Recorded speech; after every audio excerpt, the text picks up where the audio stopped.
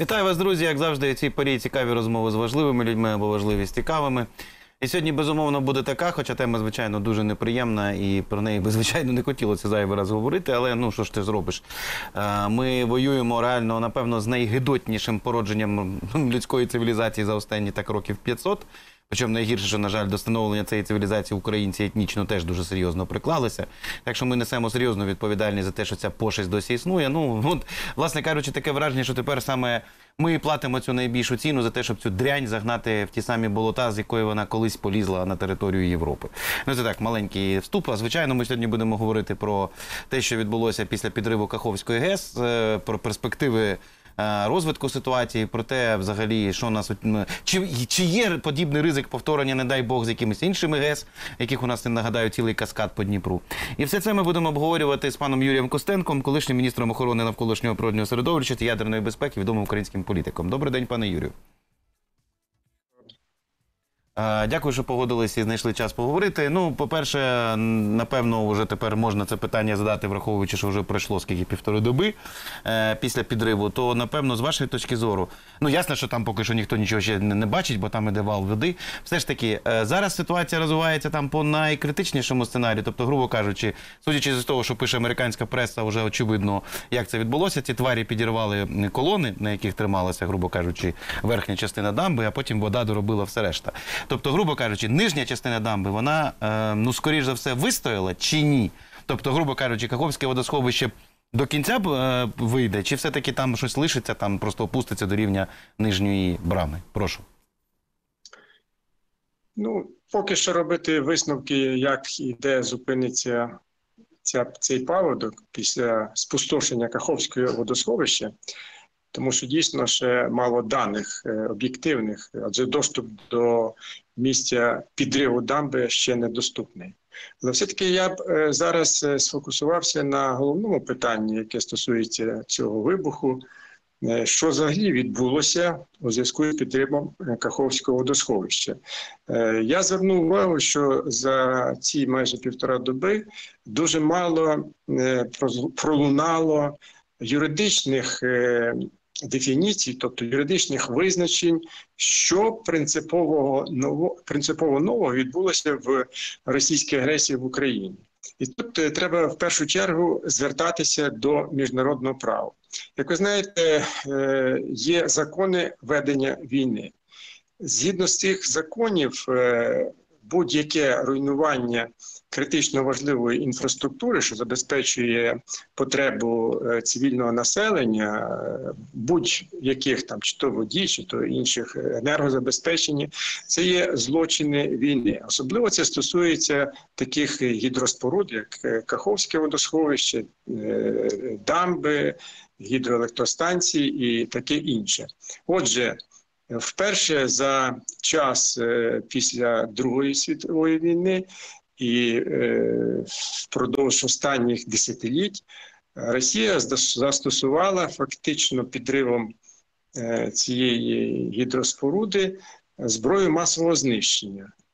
Так визначається принцип того, що відбувається, коли під е, удар попадає величезна кількість цивільного населення. Це називається застосування зброї масового знищення. У нас чомусь в період цієї е, фази російської агресії весь час акцент е, робилося тільки на темі використання Росією тактичної ядерної зброї. Ну і деколи там божевільний Путін е, погрожував загалом ядерним катаклізмом всьому світові. Але після того, як е, дуже чітко не лише Захід, але й Індія, Китай е, застерегли Росію від думки навіть щодо застосування ядерної зброї, то Росія змінила свою стратегію використання зброї масового знищення. Вона активно почала робити прольоти над українськими атомними станціями своїми крилатими ракетами. Вона почала погрожувати, до речі, і можливістю підриву е, дамби, тільки це звич- звичайно мали робити під прапором України їхні бойовики. І те, що напередодні вибуху вже явно лунали з російських мас-медіа попередження, що буде така атака на Каховське водосховище, це все підтверджує того, що російська агресія в Україні вийшла на принципово інший рівень рівень застосування зброї масового враження. І от саме з цього потрібно оцінювати всі подальші події, що стосуються наслідків цієї страшної техногенно-військової катастрофи. Чому я так кажу? Та тому, що вище по течії Дніпра е, знаходиться найбільша у Європі атомна електростанція Запорізька атомна, і вона саме буде наступним джерелом потенційних небезпек щодо зброї масового знищення на території України під час бойових дій. І саме про це я хотів би почути, щоб говорили більше як українських високопосадовців, так і зарубіжних експертів. Чому я так кажу? Та тому, що ніхто навіть не береться теоретично е, обговорювати питання: а що може трапитися, коли найбільша в Європі атомна електростанція зазнає точно такого ж враження. Не секрет, що е, уже на Запорізькій атомній станції давно проводяться різні роботи з мінування цієї станції, де куди навіть експерти МАГАТЕ не знають всієї картини того, що відбувається на ЗС. І е, першим і самим страшним наслідком е, подій на Каховській е, дамбі і гідровузлі буде наступний крок Росії, і він стане можливим лише тоді, коли міжнародна спільнота не зробить належних висновків і відповідних застережень диктатору божевільному Путіну щодо подальших кроків перетворення війни в Україні у уже ядерну війну з усіма її жахливими наслідками. Я маю на увазі підрив можливий блоків е, або систем водопостачання Запорізької атомної станції. Отже, перше і головне, російська агресія в Україні вийшла на принципово інший рівень рівень використання зброї масового враження. Пункт 2. Зараз акцент робиться лише на наслідках екологічних, економічних, е, водопостачання цілих регіонів, е, проблеми із водопостачанням, тобто це е, акти геноциду. Без всякого сумніву, і є також норми відповідно міжнародного права. Але треба сьогодні дуже чітко, е, проводячи аналогії між вибухом на Каховському гідровузлі і з можливим вибухом на Запорізькій атомній станції, і виходячи з цього, будувати всю подальшу стратегію як українського е, контрнаступу, так і українських дій на міжнародній арені. Якщо сьогодні керівництво України не звернеться до всього світу із закликом е, припинити початок. Третьої світової війни, наводячи відповідні аргументи, про які я щойно говорив, то ви знаєте, е, ну Путін буде рухатися рівно скільки, скільки йому буде дозволяти міжнародна спільнота робити всі ці безчинства е, е, не тільки божевільного диктатора, але і божевільної. Е, Нації зомбованої, і ви правильно сказали, що це е, унікальний витвір цивілізації, який не мав і не має аналогів у світі. От, пане Юрію, е, я тоді вас, ну е, я то з вами погоджуюсь, безумовно, ну але окей, давайте так тоді е, до конкретики. Отже, очевидно, ми не контролюємо зараз. Е, Тобто, да, від Енергодару лінія фронту знаходиться десь приблизно в 4,5-5 кілометрах, якщо там рахувати від Васильівки і так далі, але тим не менше. Ми не контролюємо ЗАЕС, і відповідно ми нічого не можемо зараз зробити з тим, що там зараз заміновано і так далі. Туди збирається їхати пан Гроссі, наскільки я пам'ятаю, керівник МАГАТЕ. Він пообіцяв, що найближчі дні він туди поїде. Ну, дивіться, е, от грубо кажучи, наскільки ми пам'ятаємо, і мені так здається, про це ну ніхто навіть це не ставив під сумнів, що в принципі той же Китай, Індія, ну в першу чергу Китай, який вже є тепер старшим. Е, Так сказати, ну по суті, феодалом над Росією дуже чітко дали зрозуміти, що ребята ніяких там е, ядерних речей. Вон Китай вчора в Радбезі цьому імпотентному, але теж черговий раз сказали, що не дай Бог не допустіть нічого на ЗАЕС. От зверніть увагу, навіть Китай це сказав. Е, хоча Китай це нам точно не друг. Я тут до чого це веду, розумієте? Ну тобто, окей, ми зараз звертаємося до міжнародної спільноти. Міжнародна спільнота спочатку взагалі не прореагувала по принципу: ой, ну ми не знаємо, ой, ну треба розібратися ж, як би. Ну, от зараз вроді розібрались уже, що все-таки це точно Росія, що Росія підірвала і так далі. Просто, ну окей, звертаємось до міжнародної спільноти. Ну так, а що, ситуація ЗАЕС тільки зараз з'явилася? Чи ви маєте на увазі, що після цього підриву є шанс? Що хтось скаже Росії, а тепер ідіть е, до три чорта з ЗАЕС і вони підуть. Я просто не зовсім розумію, а що конкретно можна зробити в даному випадку, окрім як фізично вибити звідти російські війська? Може, у вас просто якесь інше розуміння? Поясніть, будь ласка. Ні, в мене розуміння якраз е, також таке приблизно, як і у вас, е, в ситуації, коли е, Путін повністю ігнорує всі норми міжнародного права, займається ядерним тероризмом, тепер застосовує в такому вигляді зброю масового знищення. Е, для нього, мовно кажучи, жодні закони не писані. Це зрозуміло чого.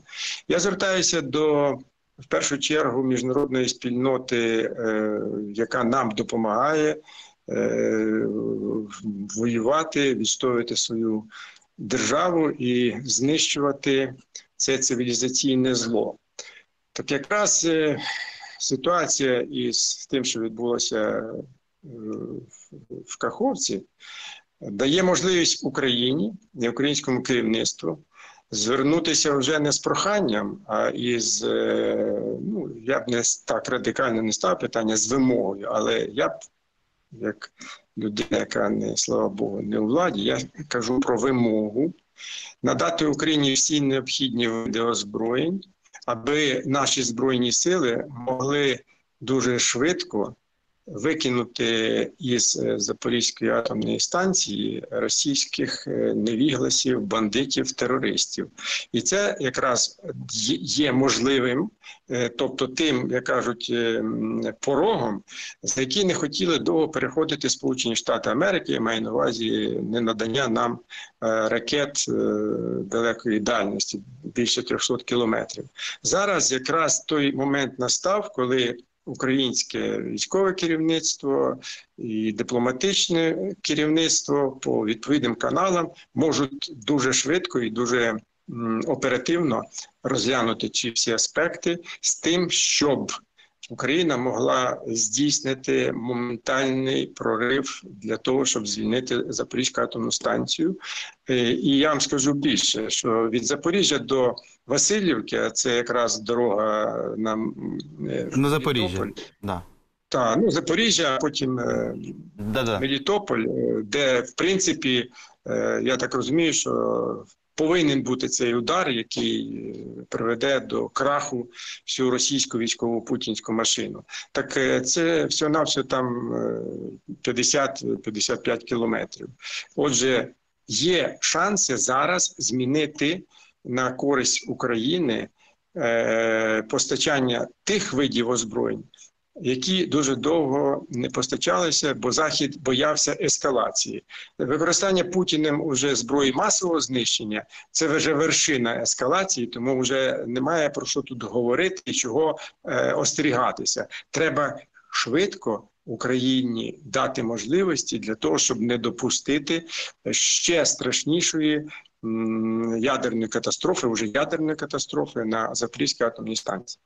Ну я з вами абсолютно погоджуюсь. Тепер якби е, дійсно м'яч на полі наших дипломатів і президента, і всіх, хто у нас там цим займається. Ну наскільки я розумію, із того, що там неважливо, там як ми оцінюємо діяльність президента всередині країни, якраз назовні, в принципі, Зеленський все правильно говорить.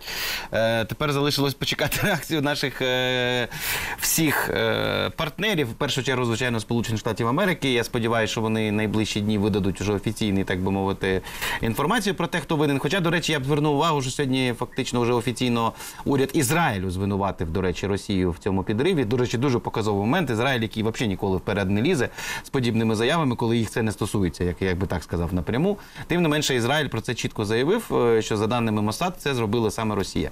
От це показовий момент. е, І я думаю, що насправді американці всі просто чекають там якихось, може там не знаю, звітів. Там ну у них там напевно свій протокол. Але я думаю, що найближчим часом це рішення буде. А далі, що звичайно, по зброї, ну дай Бог, щоб так воно було, як ви говорите. Е, я єдине хотів вас спитати, знову ж таки, враховуючи, що свого часу це було ваше хазяйство в певному сенсі. Е, наскільки я пам'ятаю, вчора енергоатом кілька разів заявляв, що в принципі, от той ставок, який зараз їх цікавить, охолодження на ЗАЕС, він все-таки має зараз альтернативні джерела постачання води, окрім власне Каховського водосховища. Плюс я там скажу відверто по своїх там каналах. У мене багато знайомих фізиків-ядерників, які працюють і досі в енергоатомі. І мені сказали, що в принципі, коли вона планувалася станції, коли вона реконструювалася, там були передбачені такі моменти, що якщо раптом в Каховському водосховищі різко падає, наприклад, вода, чи там перестає бути е, функціональним водозабір, то, то там є всякі альтернативні джерела, особливо в тому випадку, коли вона не є активно працюючою, як зараз, а просто працює в режимі підтримання самої себе. Тобто, е, хоча б з цієї точки зору нам нема чого боятися, чи все-таки все одно є? От дуже цікаво, що ви можете про це розповісти. Я звертаюся завжди в таких е, випадках до е, відповідних законів і нормативних актів. Е, До речі, МАГАТЕ саме відповідальне як орган для того і створювався міжнародною спільнотою, щоб розробляти правила використання безпечного ядерної енергії. І от в, в цих правилах і нормах, які війшли, до речі, в українське законодавство, дуже чітко зазначається, що можна робити не тільки на території атомної станції, щоб вона працювала безпечно, але ще є така охоронна зона навколо будь-якої АЕС. Ну, наприклад, над е, будь-якою атомною електростанцією у світі заборонений проліт е, цивільної авіації. Я вже не кажу про військову авіацію, бо е, може бути випадок падіння літака.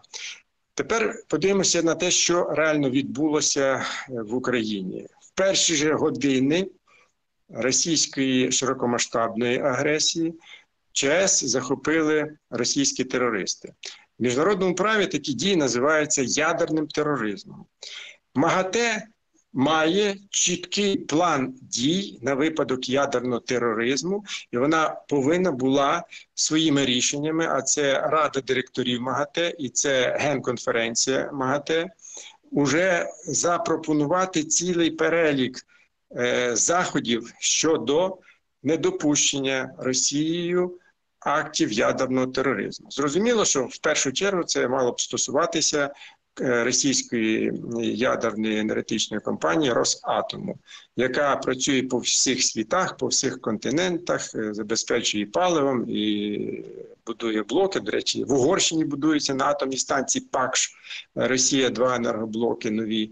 Отже, МАГАТЕ цього всього не робило і не тільки в початковій стадії е, російської агресії широкомасштабної, але і через рік. Натомість пан Гросій після захоплення Чорнобильської станції оголосив, що радіаційний фонд на Чорнобильській атомній станції нормальний.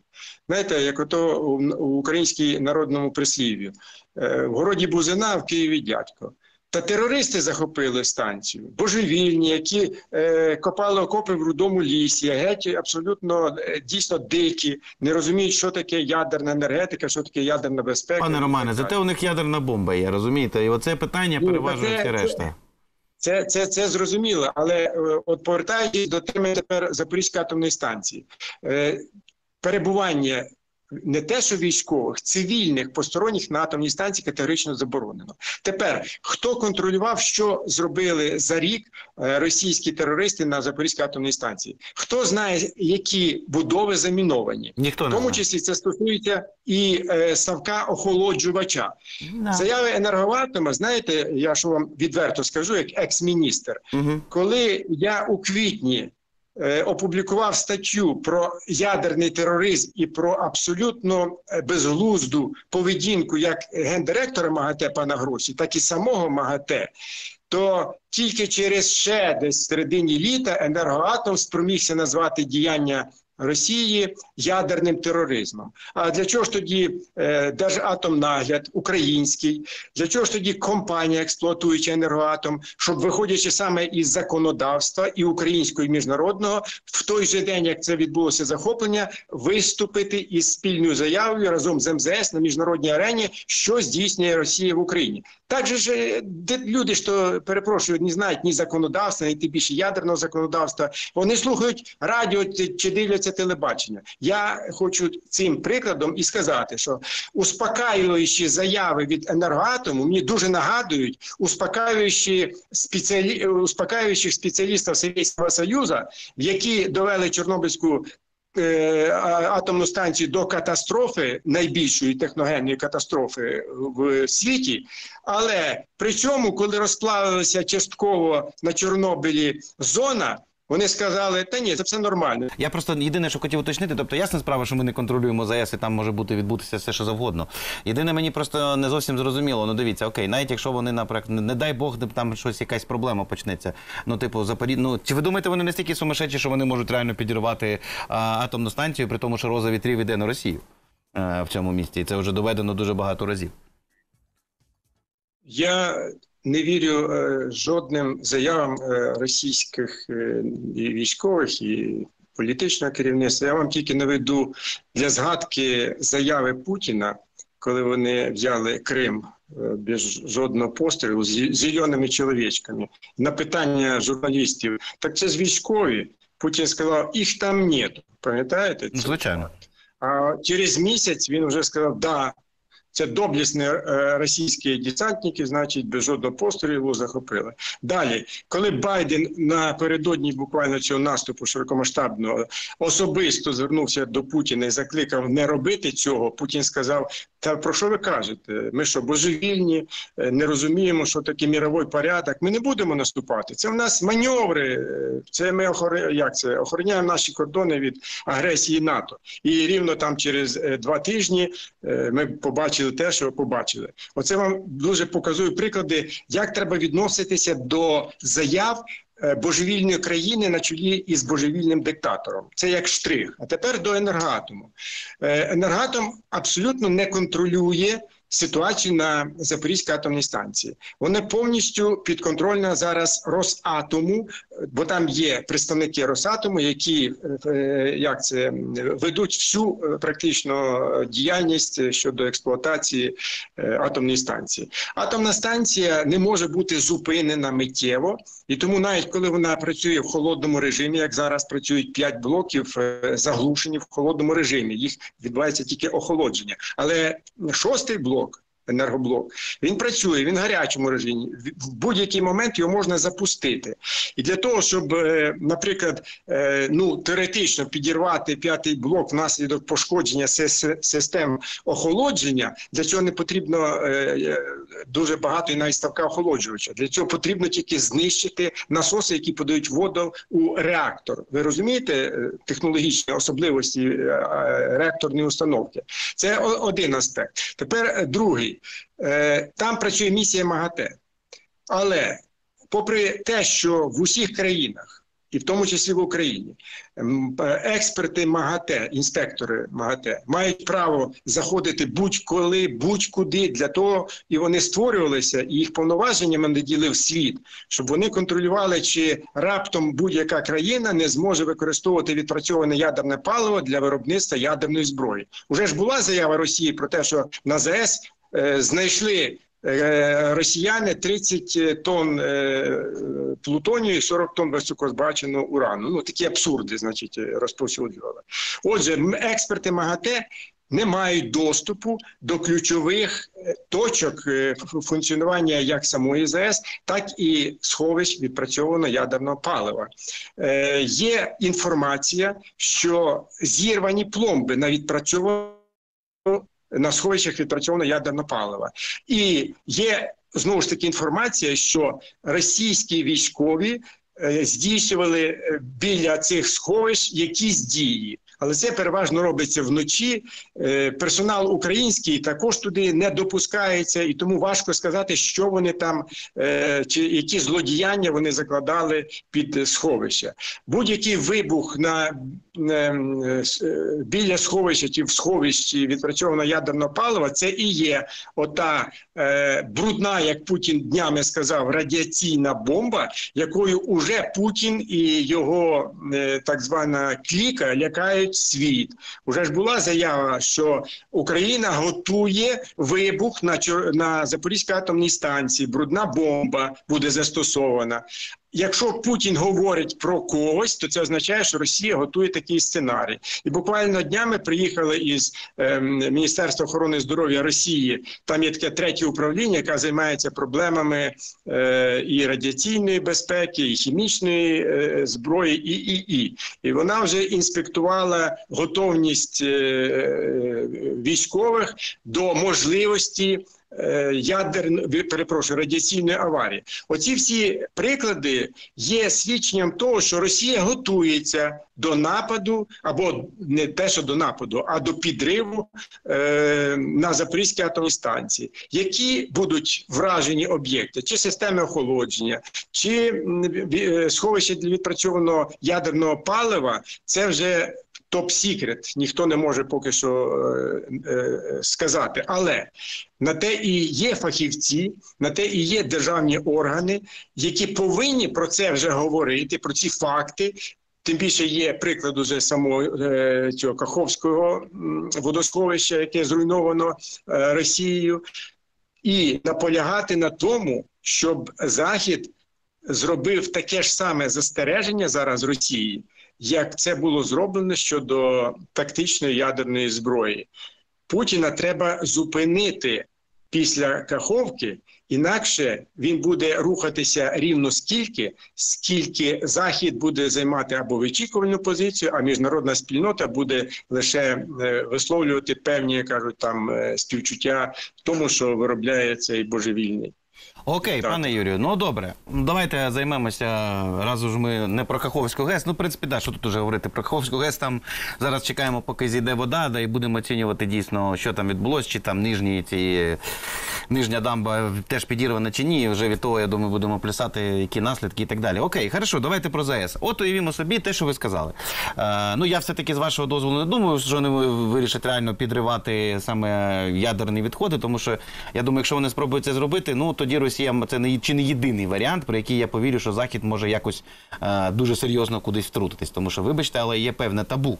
Світі, причому це табу підтримують навіть Китай, який зараз претендує на роль, скажімо так, другого центру сили в світі на невикористання ніякому разі ядерної зброї. Зверніть увагу, що при всіх е, гігантських уже проблемах і конфліктах між Америкою і Китаєм, тим не менше, оця історія референдум проходить через всі публічні заяви китайців. І, до речі, навіть заяви е, в Росії і щодо Росії. Але от окей, от те, що ви сказали, значить, вони можуть піти на для в своєму прагненні зупинити, зупинити наш контрнаступ, підняти вставки і ецетера, ецетера. Окей, ідуть вони на якісь, наприклад, е, умовні провокації. От ви сказали, підривають вони ставок. Окей, ну. Якщо так відбудеться, ну тоді при найгіршому варіанті, я так розумію, просто станція буде законсервована. Це означає просто, що потім для того, щоб її запустити, це звичайно буде втри, втричі дорожче і втричі довше. Тобто, якщо я правильно розумію, мова йде про те, що тоді треба просто зупиняти реактори і виймати з них е, е, ядерне паливо. Я правильно розумію чи ні? Ні. Е, припинення охолодження реакторної установки е, приводить до того, що відбулося на атомній станції в Японії Фукусіма після цунамі, коли насоси подачі води були зупинені е, після того, як е, опинилися під водою, фактично. А далі пішов процес вже неконтрольований з боку людей чи- систем е, захисту е, цього атомного реактора. Що мається на увазі? Припинення охолодження подачі води в реактор, навіть якщо він заглушений, е, призводить до утворення е, внаслідок радіолізу водню. І далі відбувається е, збільшення цієї концентрації, а суміш, як ви знаєте, водню із киснем називається гримуча суміш. І саме така суміш рознесла всі гермооболонки на атомній станції Фукусіма. Тобто припинення охолодження це великомасштабна ядерна аварія, навіть якщо реактор заглушений. До речі, на Фукусімі один реактор був заглушений. Але він вибухнув все рівно, тому що процес радіолізу, утворення водню і гримучої суміші не можна припинити миттєво до тих пір, поки дійсно не вивантажиться ядерне паливо і не припиниться ланцюгова реакція, яка гаситься стрижнями, коли реактор просто заглушений, але вона не припиняється. Тепер це один із сценаріїв. Тепер другий повертаюся до теми радіаційної аварії на сховищах відпрацьованого е, ядерного палива. Е, Це е, також може привести до е, масштабного забруднення, в залежності від того, наскільки підніметься ця радіоактивна хвиля, і куди, е, які будуть метеоумови, куди піде ця хвиля. Нагадаю, коли вибухнув Чорнобиль, е, хмара піднялася на висоту 11 кілометрів і тричі обігнула земну кулю. Там, де були опади, випадали радіоактивні дощі і забруднення до сьогоднішнього дня в цих місцях зберігається по всьому світу. Розумієте, по всьому світу. Тому говорити про апокаліптичні сценарії, е, виходячи вже з практики Чорнобильської трагедії і е, Фукусіми, е, не треба типу лякати людей. Не про це йдеться. Це треба фахівцям в першу чергу написати план заходів щодо мінімізації наслідків таких можливих ем, діянь чи злодіянь е, російського терориста Путіна. І е, те, що е, це може бути, це є підтвердженням того, що вже відбулося на Каховському гідровузлі. От я, я хочу от, оце чітко е, розставити. Якщо вони вже пішли на такого роду масштабні злочини, е, що дійсно вже навіть, е, як ви сказали правильно, Ізраїль нейтральний щодо поведінки Росії змушений був е, зробити відповідну заяву, то поки Путіна е, світ разом. Хоча б якось не притне до, до, до мотузка. е, Так а як, він, пане Юрію? Окей, ну дивіться, як? та дуже просто. Ну як ну Росія сьогодні е, захід, наприклад, е, може тільки е, там е, уже військовим чинником його припнути. Е, про що ми говорили. Тобто нанести удар по Росії? Україні- Ні, пане Юрію, дивіться, давайте от. Та ні, удар а по як? Росії, удар по Росії це ми. Це наша відповідальність. Але нам треба дати те, чим можемо ми бити не по Росії, бити по ворогу, який на нашій землі. Ось про що йдеться. Причому тут удар по Росії? Ну, Ну, хай займаються це партизани російські ударом по Росії. У нас є своя територія окупована агресором. Її треба звільняти. От туди треба удари давати. А тепер щодо міжнародної спільноти, Росія сьогодні повністю залежна від е, Індії і Китаю, продава, е, продаючи їм ем, е, леву частку того, що виробляє її нафтогазовий комплекс, і газ, і нафту. Тому лише пальчиком, якби цей Сі Цзіпінь е, сказав. Путіну не, не, не цей самий не балуйся із цими речами, то Путін би припинив спроби е, здійснювати такого роду е, широкомасштабні е, воєнні злочини, на які він уже пішов. Уже пішов, шановні колеги. Ну, звичайно, пішов. Так що, а, але реакції адекватної я не бачу. Я про це почав е, нашу розмову. Е, Я так же, як і ви, постійно моніторю, що хто заявляє там і які пропонуються варіації. Варіацій немає. Попри те, що всі знають, що і ООН. Радбез це абсолютно бездіяльна організація стала внаслідок російської корупції. І МАГАТЕ це абсолютно корумпована Росією організація стала, яка не може ухвалити жодного рішення е, щодо припинення актів е, ядерного тероризму. А пан Гросі, е, перепрошую, займається тільки особистим піаром. Там час від часу кудись їздить, щось там пропонує. І те, що він п'ять пунктів збереження Запорізької атомної станції у стані безпеки, так це ж е, не він перепрошую. Це правила, які відомі всьому світові, і вони в законах про використання ядерної енергії прописані, що треба робити, щоб ядерна установка е, була безпечна. Розумієте? Тобто, все розраховано тільки або на відсутність знань. Ну а люди здебільшого не знають, що таке ядерна безпека, як вона досягається, або е, піар акціями, які не мають жодного відношення до того, що відбувається в Україні і з Україною, в тому числі на ядерних енергетичних установках. От е, добре, у мене ще одне питання таке до вас буде. Дивіться, ну е, абсолютно з вами погоджуюсь, що тут ну якби це величезний військовий злочин по всіх конвенціях, і по Женевській, і будь-якій іншій, е, той, що відбувся на Каховській ГЕС. Але от я зараз спробую бути ну прям от гранично цинічним е, поставити себе на місце, скажімо так, умовних лідерів там якихось західних країн. Ну тобто, сам факт підриву е, плотини це жахливо, понятно і так далі. Але ну це не є катастрофа. Ну скажімо так, це дуже хріново, ну це не смертельно. А, тому що, ну як, погано, звісно, очень плохо. Ну, окей, ну от так от. Нічого, будемо там потихеньку їх додавлювати і додавимо. Ну, от, грубо кажучи. Зовсім інша історія, ядерна історія. Бо ви правильно самі сказали, що ядерка це стосу буде. Ну, ми, це, ти навіть не можеш прогнозувати, кого це буде стосуватися, воно може стосуватися будь-кого. От просто в будь-який момент, не дай, не дай Бог, щось відбудеться, і воно просто понесе на твою країну. І ти нічим це не зупиниш. Е, відповідно, все, от вибачте за мій цинізм. Чи не здається вам все-таки, що тут, е, не дивлячись, ну я розумію, що для нас це звучить дико, але ну от знову ж таки, ми живемо в реальному світі реальних людей, які роблять, приймають реальні рішення, виходячи з своїх інтересів, а не якихось загальнолюдських цінностей. Давайте, на жаль, будемо реалістами, і ці останні події це доводять. Чи не здається вам все-таки, що історія з ядеркою це е, все-таки не історія з ГЕС? Це історія, яка дійсно, ну от, от там Путін, якщо він попробував би це зробити, навіть у випадку з заграваннями там з е, тероризмом на мир, я вже не кажу про ядерну зброю, а саме от е, з заграванням з АЕС. Ну це та сама історія, про яку йому поговорив і Сі Цзіньпінь вже дуже багато разів. І Індія йому говорила е, вустами цього Нарендри Мондрі і так далі. Тобто. Ну чи не здається вам все-таки, що там червона лінія давно проведена і вони не ризикнуть? Чи ну просто я, я тоді просто не розумію. Якщо вони ризикнуть, ну тоді, ну якби розумієте, навіть якщо нам дадуть там е, ракети далекої радіусу дії чи літаки, хоча це все одно ж не фактор, який там буде прямо завтра. Е, Ну, тобто це не реакція. Мені здається, що якщо вони реально попробують це зробити, оце, напевно, єдиний варіант, і Росія це розуміє, коли і Захід, і Китай можуть прийняти рішення про якісь більш серйозні активні дії. Чи це я теж марю? От прошу, цікава ваша точка зору. На превеликий жаль, є приклади, коли е, та ж сама Росія вже порушувала принципи і закони ведення війни і застосовувала хімічну зброю в Сирії, в Алепо. Е, і світ тоді, е, на превеликий жаль, е, не зреагував належним чином, як то вимагає міжнародне законодавство.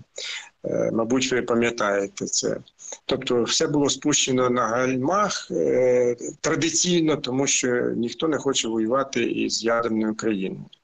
Е, друге, це те, що вже в Україні відбувається.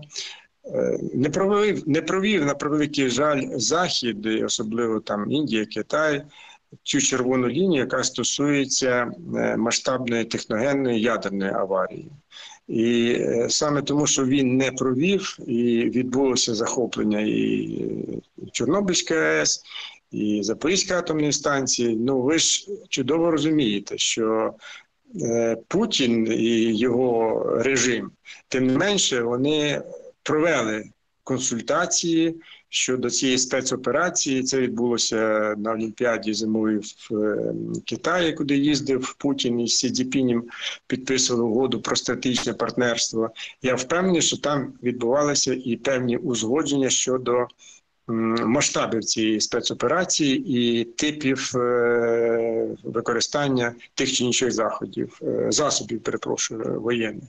Тому те, що далі відбулося, захоплення цих двох ядерних об'єктів, е, і жодної реакції не відбулося, е, тим більше жорсткої. Е, Це є свідченням того, що Путін рухається по тому сценарію, який, умовно кажучи, умовно кажучи, йому дозволили. Це перше. Тепер щодо самого заходу демократичного, який фактично е, нам допомагає вести цю е, оборонну війну в таких масштабах і забезпечує принаймні всім необхідним на сьогоднішній день. Е, Тут інше питання. Якщо говорити про ці варіанти ядерної катастрофи, то тут немає відповіді на ключове питання. А що це загалом робити із е, зоною воєнних дій, е, коли попадають е, під дію е, радіоактивного промінення ну, е, сотні тисяч людей, військових і всі інші? Як робити евака- евакуацію, куди евакуювати? Ну, в зоні воєнних дій. Відповіді немає на це питання, на превеликий жаль. Ніхто у світі, жодне відомство, включно із МАГАТЕ, не розробляли такого роду сценарії е, масштабної ядерної чи радіаційної аварії і проведення е, робіт по мінімізації наслідків. Ви розумієте, які це, яке це божевілля? Ну, навіть уявити, ви, ви, в принципі, хоч історію Чорнобильської трагедії, хоч приблизно знаєте, Ну, з, мас-медіа там із Ну, звичайно, пане Юрію, знаю, у мене, вибачте, мій, якщо ви вже про мене ви питаєте, то е, у мого товариша е, батько був одним з вертольотчиків, який гасив, тому я не просто знаю. У мене ну, стільки, стільки всього я навколо про цю історію знаю, що я можу по секундам розписати, що там відбувалося. І не дай Бог це повторити. Та, а ви знаєте, що е, за е, час активної фази, коли е, там в Чорнобильській зоні це було суцільний, значить, радіаційний полігон, прогнали е, 600 тисяч військовослужбовців колишнього радянського звичайно. Союзу. 600 тисяч. Є найбільші цифри. 600 тисяч. Потім ніхто ж не сказав, а де вони подівалися. Ну, тобто це смертники. Ну так. Ну не всі, але Ну, більшість. Питання: а де взяти? е, Ну ти- ми ж теоретизуємо, а де взяти людей, щоб вивозили от із е, зони враження? Там я кажу е, про Україну в першу чергу, де ведуться бойові дії, і яким чином це, це організувати і зробити неможливо. Пане Юрію, Тому е, ну тому. просто. Я завершую ці апокаліптичні е, прогнози е, дуже простим, е, кажуть, простою пропозицією.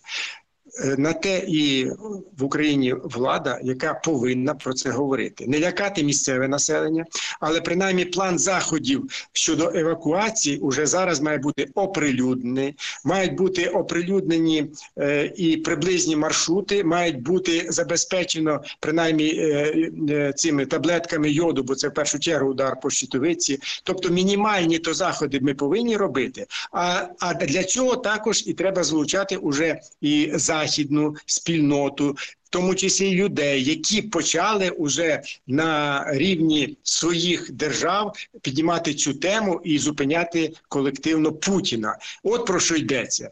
Я не хочу ще раз повторюю лякати українців, бо вони і так настраждалися. Але я хочу сказати, що світ не готовий до таких масштабних викликів, і не маючи відповідь на ці масштабні виклики, він робить вигляд, що ну все більш-менш окей, так як зробив буквально е, е, сьогодні заяву енергоатом із е, Держатомрегулювання, що ну в принципі, хоч і там немає охолодження чи вірніше проблеми, але все більш-менш нормально. Я зрозумів. Ні, ну вони там просто кажуть, наскільки я пам'ятаю, вони не говорили, що це нормально. Вони сказали, що ситуація контрольована. От е, Ну, змисл така, заяви що був таке такий. контрольована ситуація? Я перепрошую. Що таке контрольована ситуація? Сьогодні вона питання. контрольована через, через, е, через годину, вона вже не контрольована. А відповідь на питання є, що робити, коли не контрольована ситуація. Я Ну, не почув ні від Енергоатома, ні від е, Держатомрегулювання. Ну, я з одного боку я з вами абсолютно погоджуюсь, з іншого боку, давайте все-таки не забувати, що я то, що я не, не, не збираюсь захищати енергоатом, це точно. Враховуючи, як цей енергоатом зараз, згідно інформації моїх колег, продовжує пиляти бабло, аж гай гуде. Е, і, ну, прямим текстом краде гроші на, на тендерах і так далі. Але в даному конкретному випадку я скажу так: ну давайте не забувати, що згідно всіх конвенцій, взагалі щодо того, що знаходиться на окупованій території, в першу чергу відповідальність несе окупант. Е, ми не контролюємо зараз ЗАЕС, на жаль. Так. І Так, відповідно, це найгірше так. питання. Тобто я з вами погоджуюсь, звичайно, що е, ну з іншого боку, знову ж таки, не захищаючи товариша Гросі і всіх навколо, тут напевно єдиний момент полягає в тому, що єдиний, хто в даному випадку може дійсно забезпечити якусь там демілітаризовану умовну зону, це було б якесь рішення Радбезу ООН, якого ніколи не буде, тому що там є Росія. Е, от відповідно, тут певний такий тупік, і чесно кажучи, я не знаю, як з нього вийти, окрім як якимось судячи з усього, е, з того, що знову ж таки я крихти інформації, які були в е, публічній там пресі, в медіа. Судячи з усього, багато разів до керівництва Росії дуже різними силами. І західними, і китайцями, в тому числі, було донесено про недопустимість будь-якого використання як ядерної зброї, так і ядерного шантажу. Наскільки я зрозумів, і думаю, що це напевно на даний момент чи не єдиний дієвий інструмент, тому що, на жаль, мені здається, будь-які міжнародні організації, міжнародні всі конвенції, пакти, вони не діють. Ну давайте просто назвемо речі своїми іменами. Вони не діють. І все. І наша апеляція і тому я, чесно кажучи, тут не знаю, що сказати. Вірити нам залишається тільки Збройні Сили України. Те, що ви правильно сказали, звичайно, що це привід черговий раз просити більше уже остаточно будь-якої зброї, окрім ядерної, яка таки напевно існує. Ну, побачимо, що з того всього буде. В будь-якому разі. Дякую вам за те, що ви цю тему підняли. Звісно, холода в труси, вибачаюсь, ви нагнали зараз багатьом людям ой-ой-ой, особливо тим, хто дуже добре пам'ятає чорнобильські всі події не на рівні, як я, коли мені було два роки тоді, а на рівні тих, хто був дорослий тоді і переживав всю цю трагедію. Тому будемо сподіватися, що цього всього не буде, і Каховська історія це хоча б не повториться більше ніде, ні в яких формах. Дякую вам дуже за розмову. Це був пан Юрій Костенко, е, відомий український політик, колишній міністр охорони навколишнього середовища та ядерної безпеки. От, ну от бачите, ми сьогодні навіть більше не стільки про те, що зараз відбулося, а про можливості того, що може відбутися. І в принципі це дуже правильно, шановні глядачі, тому що треба розуміти, що ми маємо справу з е, уродом, головною метою якого є насправді просто залишитися при владі до своєї смерті. Е, І заради цього він готовий піти на будь-що. Плюс давайте, якщо хтось тебе там тішив ілюзіями, що значить вони просто хочуть воювати проти плохих українців, а хороші, які готові підкоритися, їх влаштовує, то ні. Бачите, їм пофіг. Вони будуть знищувати всіх. Я, чесно кажучи, не радію, тому що я вже років 20 це кажу. Що коли почнеться російсько-українська війна, ви побачите, що для Русні нема хороших українців. Для них всі погані. Всіх треба вбити. Вони вже, в принципі, це і не приховують. Що максимум їм потрібна наша територія. Але якщо вони не можуть взяти територію, окей, вони згодні всіх тут вбити. Залишити пустку і не дати її нікому. Ну головне, щоб нас з вами не існувало, друзі. Тому да, це ситуація дуже серйозна. І я знаєте, якби ще позавчора я б напевно таку розмову навряд чи би проводив в ефірі, тому що вважав би це, що це зайві емоції. Але зараз, ви знаєте, після Каховської ГЕС я вже нічому не здивуюся. Тому да, друзі, будьте готові до всього. Наскільки наша влада і світ готовий, тут пан Костенко, я думаю, дуже чітко показав. Да, не готові, і ніхто, я думаю. До кінця не вірить, що Росія на це піде. Але от чи піде вона на це? Це хороше питання, на яке, чесно кажучи, у мене тепер уже відповіді нема. Е, Сподіваюся, що ця відповідь є у так званих decision-мейкерів, тобто тих людей, які приймають рішення. Тому що, ну повторюся, ситуація з Каховською ГЕС дійсно показала, що рівень конфлікту перейшов на новий абсолютно рівень. І дуже сподіваюся, що е, наша дорога спільнота все-таки розуміє, що на цій планеті жити нам всім. А історія з ядерною катастрофою це історія про те, що жити не буде ніхто, в незалежності від їх там е, якогось там державного устрою, лідера і вподобань. Це треба розуміти дуже добре всім. Дякую всім за увагу. Е, сподіваюся, що все буде добре. До зустрічі, побачимось, почуємось.